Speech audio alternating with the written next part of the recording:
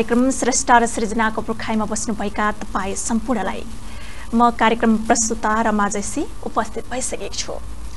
दर्शकबिन आज पनि तपाईँहरूको माझमा एकजना साहित्यिक व्यक्तित्वलाई निम्ताइसकेका छौँ। आज हाम्रो माझमा विगत लामो समयदेखि आख्यानमा कलम चलाउँदै आउनुभएका एकजना दिग्गज स्रष्टा हुनुहुन्छ। उहाँ हुनुहुन्छ कमल पराजुली जेठ पच्चिस गते भर्खरै मात्र इन्दिरा उपन्यास प्रकाशन गर्नुभएको छ उहाँले।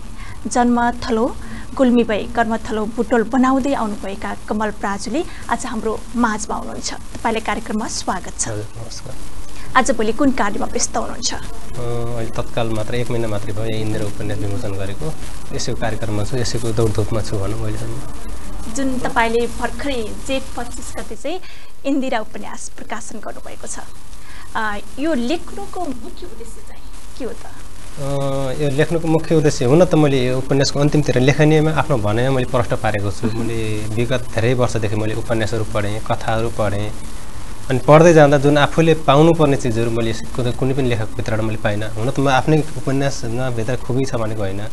जो आफूले पाउनुपर्ने चिज हो त्यो मैले कहिले नपाउँदा। आफूले नि लेखाउन त भनेर चाहिँ मलाई भित्र आत्मादेखि नै खुल्दली भयो। त्यसपछि म त्यो प्रकाशन गर्नेसम्म पुगेको हुँ। जुन तपाईँले यस कृतिभित्र चाहिँ वैदेशिक रोजगारमा जुन भोग्नु परेको पीडाहरूलाई चाहिँ इन्दिरा उपन्यासमा समावेश गरेको छु भनेर अवगत गराइसक्नु भएको छ। जुन यो उपन्यासभित्र तपाईँले दिन खोज्नु भएको भाव चाहिँ वै भएको छ। यसभित्र चाहिँ तपाईँले अन्य कुरा यसबाहेक अरू के के समावेश गर्नुभएको छ त? उपन्यास भन्न बित्तिकै मूलत साधारण भाषामा अब लभ स्टोरी नै हुन्छ प्रेम कथा नै बुझिन्छ जो कहिले पनि त्यही नै बुझ्छ सरल रूपमा तपाईँले बुझ्दाखेरि। तर उपन्यास माया प्रेम मात्रै नभएर केही समाजमा देखिएका घटनाहरू त्यस्तै अब हुन्छ नि मान्छे मानव जीवनमा भोगाइहरू त्यो कुरालाई नि यथार्थ रूपमा बाहिर निकाल्न सकिन्छ त्यो पनि एउटा उपन्यास हो भन्छु। कुनै पनि साहित्य एउटा अहिले हुनु पछिल्लो समयमा निस्केको जो मनोरञ्जनको साधन जस्तो बनाइएको छ। त्यो नभएर समाज परिवर्तन गर्न सक्ने एउटा लेख पनि हो जस्तो लाग्छ। त्यस कारण चाहिँ मैले यो लेख्दै गर्दा धेरै कथाहरू पनि लेखेँ औपचारिकता पाएको थिएन त्यसपछि मैले इन्दिरा एउटा साधारण नाम राखेर त्यसभित्र राम्रो वैदेशिक रोजगार सम्म पाएका नेपालीहरूको पीडा जुन अन्य पीडाहरू त निस्किरहेका छन् तर जुन नेपालीले मलेसिया भएका कुराहरू कुनै पनि मैले उपन्यासमा भेटिनँ कुनै पनि लेख रचना पत्र पत्रिकामा समाचारमा मैले कतै पनि भेटाइनँ। त्यसपछि यो मैले यसको बाहिर निकाल्ने प्रयास गरेको जहाँसम्म मैले राम्रो गरेँ जस्तो लाग्छ। त्यो आदरणीय पाठकहरूको बुझ्मा छ हातमा छ एकचोटि पढिदिनुपर्छ भने। जुन उपन्यासमा तपाईँले चाहिँ इन्दिरा नाम राख्नुभएको छ एउटा केटीलाई सम्बोधन गरिने नाम चाहिँ राख्नुभएको छ। उपन्यास भनेको एउटा ठुलो विषयवस्तु समावेश गरिएको आख्यान पनि हो।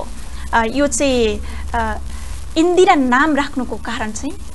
म पनि आफै अचम्मित परेको छु। मैले इन्दिराबाट सुरु गरेको होइन यो कथा। कथा मैले यस कथाभित्रको अर्को काल्पनिक पात्र छ सृष्टि। मैले सृष्टिबाट सुरुवात गरेको कथा। लेख्दै लेख्दै जाँदै क्रममा अलिकन आधुनिक नाम राखौँ त अलिकन मान्छेलाई सुन्न पनि आकर्षक हो नि त। अब इन्दिरा राखेर फेरि इन्दिराभित्र केही छैन भनेपछि त त्यो कुनै पनि औचित्य रहेन नि त फेरि। त्यो इन्दिराको पनि केही भूमिका देखाउन त भनेर मैले इन्दिराको बिचमा एउटा फेसबुकबाट हुने माया प्रेम जो तपाईँ हामी भएका छौँ देखेका छौँ आजभोलि अब त्यो अलिकति चर्चामा पनि आएको विषयवस्तु हो। अनि त्यही विषयवस्तुलाई इन्दिरासँग जोडेर चाहिँ मैले जो इन्दिरा पात्र मैले खडा गरेको त्यहाँबाट त्यसपछि मैले इन्दिरा नै उपन्यासको नाम इन्दिरा नै गराउँ त भनेर चाहिँ अलिकन आफू अग्रजहरूबाट सल्लाह सुझाव आएर मैले इन्दिरा राखेको। म आफैले नै इन्दिरै तोकेर चाहिँ राखेको होइन यो विषय। तपाईँले चाहिँ यो आख्यान विधा बाहेक चाहिँ अरू पनि लेख्नुहुन्छ कविता मुक्त गजलमा पनि कलम चलाउनु हुन्छ मलाई थाहा छ।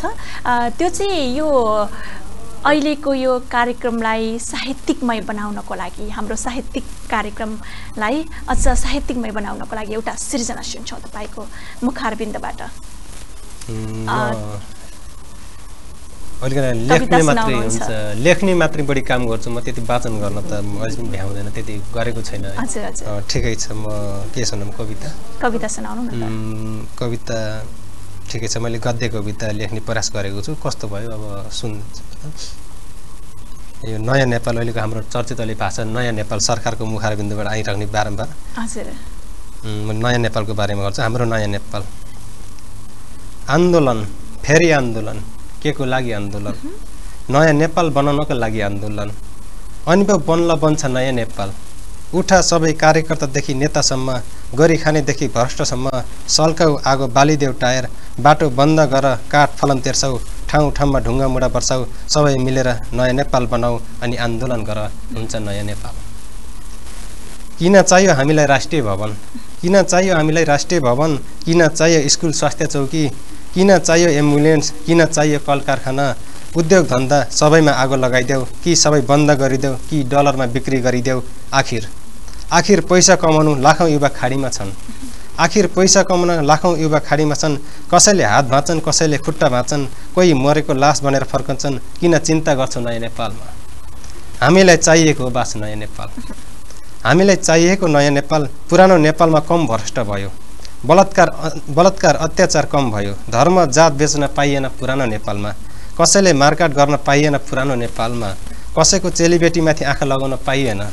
त्यसैले अब हामीलाई स्वतन्त्र चाहिएको हो। त्यो स्वतन्त्र हुन्छ त नयाँ नेपालमा मात्र। त्यसैले अब सबै नयाँ नेपालको परिकल्पना गरौँ नयाँ नेपाल बनाऊँ। सबै मिलेर हत्या हिंसा आतङ्क मच्छम सक्छौ तिमी आफै चोर मारा काटा भ्रष्टाचार बलात्कार जे हुन्छ त्यही गर। सक्दैन अरूलाई गर्न देऊ नरोका। अनि बल्ल बन्छ हामीले सोचेको नयाँ नेपाल अनि हुन्छ हाम्रो नयाँ नेपाल आऊ सबै मिलेर आन्दोलन गरौँ नयाँ नेपालमा। नयाँ नेपाल शीर्षकमा कविता।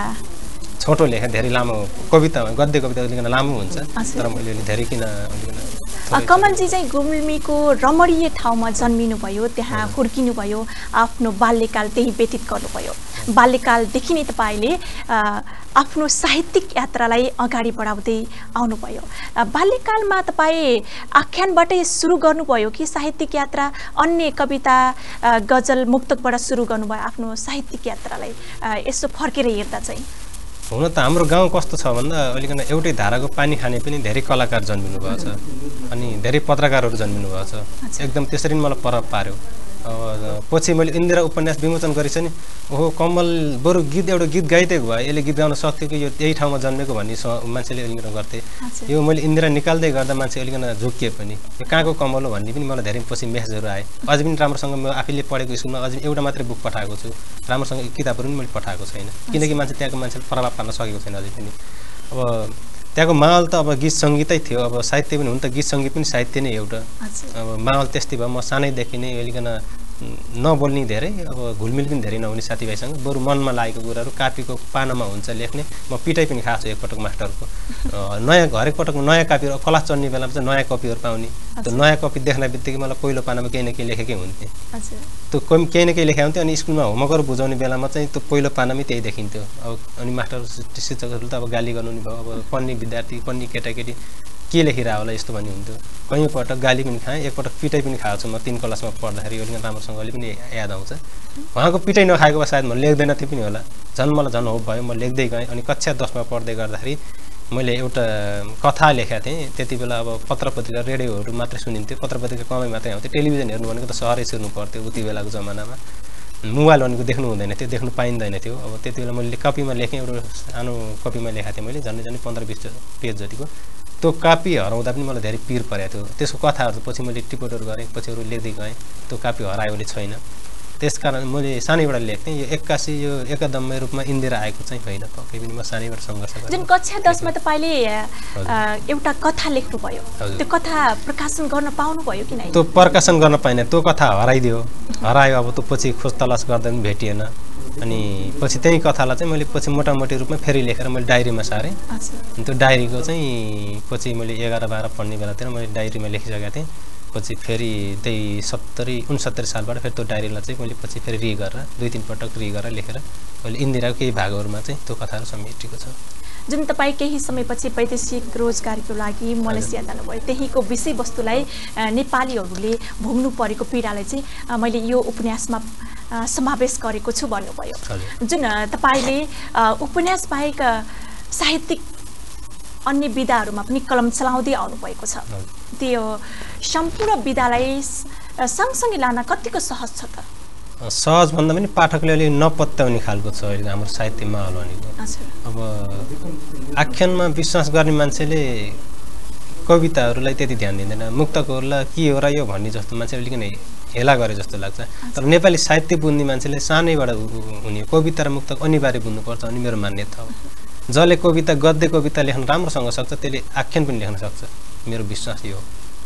जसले गद्य कविता लेख्न सक्छ त्यसले अन्य विधामा पनि हात हाल्न सक्छ। मुक्तक लेख्नेले कविता लेख्न सक्छ गजल लेख्न सक्छ। बरु कथा लेख्ने मान्छेले चाहिँ गद्य गद्य कथा लेख्ने मान्छेले बरु मुक्तक लेख्न सक्दैन।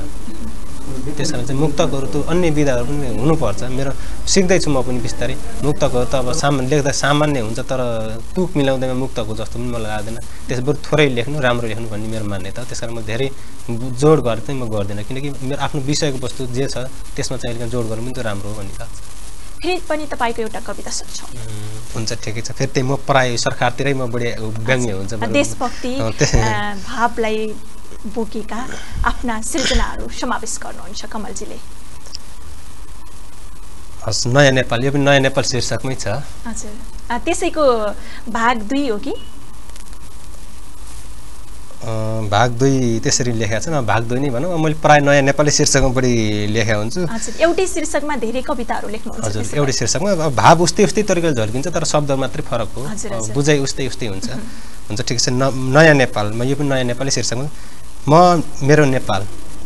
नयाँ नेपालको कुरा गर्दैछु। नयाँ नेपालको राज्य सत्ता चलाउने प्रधानमन्त्री मन्त्री बन्नको लागि सकेसम्म बलात्कारी हत्यारा नत्र दलाल भ्रष्टाचार अत्याचारी हुनुपर्छ र नेता बन्नको लागि घर जग्गा दलाली मानव तस्करी रक्तचन्दन तस्करी र मन्त्री ठुलाबडाको चाकरी गर्नुपर्छ। पढेर विद्वान हुने चलन छैन नयाँ नेपालमा। पढेर विद्वान हुने चलन छैन नयाँ नेपालमा।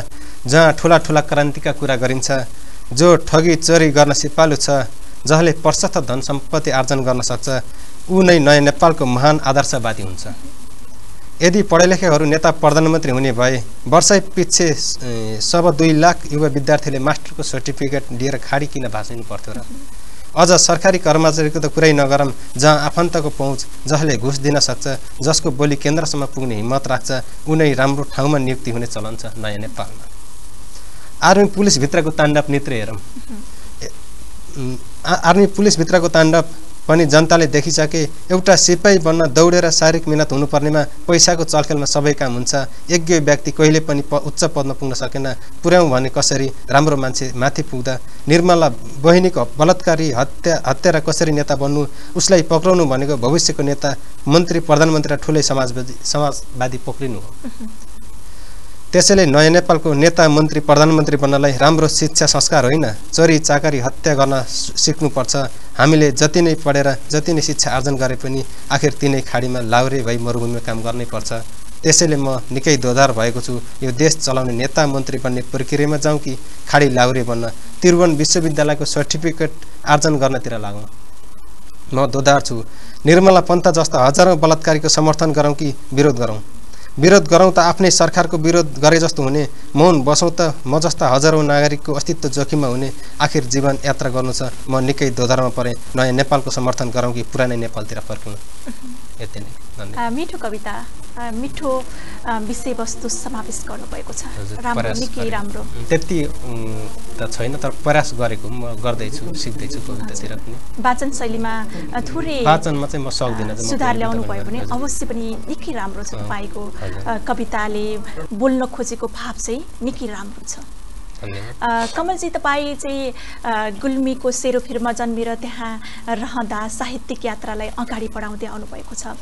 तपाईँले सिक्ने सिकाउने क्रम अहिले पनि रहिरहेको छ। तपाईँ जस्ता स्रष्टाहरू कति जन्माउनु भयो त तपाईँले सिकाउने क्रममा चाहिँ? मैले पछिल्लो एक वर्षमा मैले धेरैलाई सिकाएँ पनि आख्यानमा पनि आफूले जानेका कुराहरू सिकाएँ। कहाँनिर के गर्दा ठिक हुन्छ त्यो पनि मैले केही आफूले सिक्ने कुराहरू आफूले सिकाउन सक्ने क्षमता भएको कुराहरू मैले धेरैलाई सिकाएँ पनि।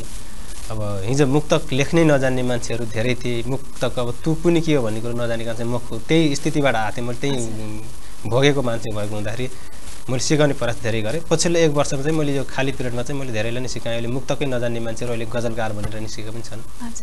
अहिले मुक्तक लेख्नै नजान्ने मान्छे अहिलेकन कथा लेख्न सिकिरहेका छन्। खुसी पनि लाग्छ। सबैभन्दा बढी मलाई माया त कथा लेख्ने मान्छे नि मन मनपर्छ। त्यही पनि गाउँले परिवेशमा। त्यो पनि होइन त्यो हुन्छ नि अब पुरानो शैलीमा लेख्ने कथाहरू मलाई धेरै मनपर्छ। म त्यही कथावस्तु विषयवस्तु गाउँकै परिवेश नै म अध्ययन गर्ने मान्छे भएको हुनाले त्यसरी पनि हुन्छ। कमलजी यो उपन्यास विधामा तपाईँले कलम चलाउनु भएको छ तपाईँको मनपर्ने विधा पनि आख्यान नै रहेको छ। यो उपन्यास कस्तो हुनुपर्छ त? उपन्यास सरल भाषामा हुनुपर्छ जो कि साधारण रूपमा पढे लेखेका मान्छेले बुझ्न सकोस् सजिलैसँग। अहिले पछिल्लो समयमा अङ्ग्रेजी भाषाहरू बढी प्रयोग गर्ने त्यसपछि पूर्वको भाषा र पश्चिमको भाषालाई बिगारेर चाहिँ बिचको भाषालाई साहित्य बनाइदिएर पश्चिमेली साहित्य भनेर चाहिँ त्यसरी गरेको पनि मैले देखेँ। यो पछिल्लो तिन चारवटा उपन्यासमा चाहिँ अब नामै किटन गर्न किन जरुरत छ तपाईँ हामीले पढे पनि स्पष्टै थाहा हुन्छ। कथाहरू पढ्दै पढ्दै जब अब भाव बुझिन्छ कि भन्ने बेला कथा अन्त्य भएको हुन्छ त्यो कहिले पनि बुझिँदैन। त्यसकारण मैले भन्छु कुनै पनि उपन्यास लेख्नु छ कथा लेख्नु छ भने त्यसको विषयवस्तुको अध्ययन गरौँ। कुन विषयमा लेख्ने त्यो शीर्षक वरिपरि घुमौँ लेख्न सजिलो छ। त्यति गाह्रो पनि होइन। सरल रूपमा लेखौँ साधारण रूपमा पढे लेखेका मान्छेले गाउँले भाषाले पनि बुझ्न सकोस्। म त्यसरी भन्छु उपन्यास त्यो हो। जुन तपाईँले सरल रूपमा भन्नुभयो सरल रूपमा लेखिनुपर्छ। एउटा सबैले बोलिने बुझिने र सबैले बुझ्न सक्ने भाषामा लेख्यो भने चाहिँ उपन्यास अवश्य पनि राम्रो हुनसक्छ भन्नुभयो। हजुर मेरो मैले पनि त्यही नै भन्न खोजेको। अब जस्तो कि इन्दिरा पनि पढ्नुहोस् कुनै पनि त्यसमा मैले अङ्ग्रेजी शब्दहरू एकदम एकदम न्यून हुनै प्रयोगै नगर्ने ठाउँमा त हुन्छ पनि। नत्र मैले अङ्ग्रेजी शब्द प्रयोग गरेको छैन। मलाई एकदम त्यसरी खुसी पनि लागेको छ। प्रायः उपन्यासमा हेर्नुहुन्छ भने पर लगभग दसदेखि पन्ध्र पर्सेन्टको हारेमा अङ्ग्रेजी शब्दहरू प्रयोग गरिएको हुन्छ त्यसमा पनि अझ बुझिने शब्दहरू हुँदैनन्। त्यो शब्दहरू मैले हटाउने प्रयास गरेँ। यो पहिलो यो पनि एकदम खुसीको पनि कुरा एकदम गर्व पनि लाग्छ। मैले अङ्ग्रेजी प्रयोग गरिनँ। यो पढ्ने पाठकहरूले नि प्रतिक्रिया दिनुभएको छ अङ्ग्रेजी शब्दहरू प्रयोग नगरेको एउटा नेपाली मौलिक भाषामा लेखिएको उपन्यास रहेछ भनेर मलाई त्यसरी पनि खुसी लागेको छ त्यो। अनि फेरि सजिलै बुझ्छन् मेरो कथाहरू किनकि बिम्ब नेपाली भाषा नेपाली गाउँको परिभाषा नि बिम्ब प्रयोग गर्न सकिन्छ भन्ने कुरो अलिकन लाग्छ त्यसरी पनि गर्नुपर्छ जस्तो लाग्छ उपन्यास त्यही सरल रूपमा बग्न सकोस् कुनै पनि आफूलाई पढ्दाखेरि हाई नलागोस् निद्रा नलागोस् सरल रूपमा बुझ्योस् जसले पनि बुझोस् मैले यो उपन्यास मेरो बुवालाई दिँदा पनि उहाँले पनि सरल रूपमा बुझ्न सक्नुहुन्छ नि। पढ्नै नहुने अब उस्तै परे कुनै कुनै उपन्यासहरू फिल्मी शैलीका हुन्छन्। फ्यामिली परिवारसँग बसेर पढ्न नसकिने खालको। त्यस्तो पनि छ हुन्छन्। तर यो सर र दिदी बहिनी दाजुभाइ सँगैसँग बसेर पढ्न सक्ने सर र खाली छ बकिन सकिन्छ भिज्न सकिन्छ बुझ्न सकिन्छ। यसको कथा भाव स्पष्ट छ। कतै खोज्न जानु पर्दैन। बाहिर कसैले यसको शब्दार्थ खोज्न जानु पर्दैन। साहित्य भनेको यस्तो कोमल विषयवस्तु समावेश उठान गर्न सकिन्छ। त्यसले सबैको मनलाई एकदमै छुन सकोस् च्वास्स छुन सकोस्। त्यो मिठास भो भावलाई बोकेको कृति चाहिँ सबैले मन पराउने गर्दछन्। तपाईँको विचारमा साहित्य चाहिँ कस्तो हुनुपर्छ त? साहित्य जो कि अब मान्छेले हरेक कुरामा साहित्य नै छ अहिले राजनीतिमा साहित्य कला क्षेत्रमा साहित्य पत्र पत्रिकामा साहित्य साहित्य नै बोलीमा साहित्य हरेक ठाउँमा साहित्य नै छ। तर कहाँनिर कुन साहित्य कहाँनिर कुन शब्द प्रयोग गर्ने भन्ने कुरो त्यसमा मिठास लिन कहाँनिर कुन बिम्ब प्रयोग गर्ने भन्ने कुरो भर पर्छ। अब साहित्यमा मान्छेलाई कसरी आकर्षक गराउन सकिन्छ त? कुन शब्दले कस्तो मन छुन सकिन्छ त? अब मेरो बुवालाई गाउँमा कृषि काम गर्ने मेरो बुवालाई इन्दिरा पढिदिनुहोस् भनेर त उहाँलाई त सक्छ छैन नि। यो भित्र के छ भने त उहाँलाई थाहा छैन नि। एउटा झट्ट हेर्दा इन्दिरा भने त एउटा काल्पनिक एउटा केटीको पात्र छ। कसैले पढ्दैन नि त मेरो बुवा आमाले त। तर यसभित्र चाहिँ मेरो बुवा आमाले भोगेका कुराहरू छ। त्यही कृषि त्यही खेतीपाती त्यही जोतमेल खनमेल होइन सबै कुराहरू त्यसैभित्र समेटिएको छ। उहाँलाई पनि त पढ्न सहज। उहाँले नि त केही कुरा सिक्नुहुन्छ नि त। यो सन्तानले आफ्नो बुवा आमाले भएका कुराहरू सन्तानले लेखेछ भने पनि बुवा आमा त खुसी हुनुहुन्छ नि त। त्यस कारण चाहिँ कथा उपन्यासहरू साहित्य भनेको गाउँकै परिवेश। आफू जहाँ छ सबैभन्दा पहिले त्यहीँको अध्ययन गरौँ त्यहीँको भाषा त्यहीँको संस्कृतिलाई उतारौँ। त्यो हो साहित्य त्यो हो कला। अब नेपालमा बसेको छ अब विदेशको भिडियो कल गरेर अथवा कसैको घरमा बसेर त्यो ठाउँको परिवेशको कथा विषयवस्तु बनाएको हुन्छ मान्छेले। त्यो मैले बिल्कुल त्यो ठिक लाग्दैन। सकिन्छ आफैले भोगौँ सकिन्छ आफैले त्यही त्यही ठाउँको अध्ययन गरौँ। सकिँदैन नि शब्द खोज्न टाढा जानु पर्दैन। एउटा नजिकैको एउटा पारि तिनौँ खोलाको पारि जङ्गलमा गयो भने लाखौँ शब्दहरू त्यहीँ भेटिन्छ। कतै टाढा जानु पर्दैन नेपाली साहित्य खोज्नलाई। यो त नेपालको साहित्य नै छैन कि? नेपालको धराशय नै शब्द नै छैनन् कि भनेर विदेशी संस्कृति जस्तो विदेशी शैलीमा उपन्यासहरू आयो त्यस कारणले म भन्छु साहित्य अलिकन बुझ्न सकिने सरल तरिकाले गाउँको परिवेश अथवा जुन ठाउँमा जन्मेको छ त्यही माटोलाई सुनाउँदो शब्दहरू लेख्यो भने त साहित्य जस्तो लाग्छ मलाई। हामी चाहिँ कार्यक्रमको अन्त्य अन्त्यमा आइसकेका छौँ। कार्यक्रमको अन्त्यमा चाहिँ कार्यक्रम स्रष्टा र सृजना मार्फत के भन्न चाहनुहुन्छ समस्त साहित्यिक मनलाई? बुद्ध टेलिभिजन हेरेर भन्नुभएको सम्पूर्ण साहित्य मनहरूलाई फेरि पनि नमन टकाउन चाहेँ। साहित्य के हो अहिले पछिल्लो समयमा लेखक पाठकभन्दा लेखक बढी भएको पनि अलिकति माहौल बढी भएको पनि छ स्थिति त्यो पनि छ।